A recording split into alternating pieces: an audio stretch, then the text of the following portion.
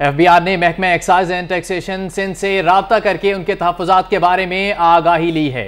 सिंध के सूबाई बुजरा ने गुजशत रोज की गई प्रेस कॉन्फ्रेंस में सिंध के छह अरब तेरह करोड़ के विद होल्डिंग टैक्स के नाम पर कटौती को डकैती करार दिया था। इसी पर मजीद बात करते हैं सिंध के वज़ीर बरा टैक्सेशन वज़ीर आ, मुकेश चावला साहब हमारे साथ हैं। मुकेश चावला साहब बहुत शुक्रिया आपका। मुकेश साहब बताइएगा महकमा एक्साइज एंड टैक्सेशन सिंध के क्या तहफात थे और एफ़ बी आर का क्या कहना था?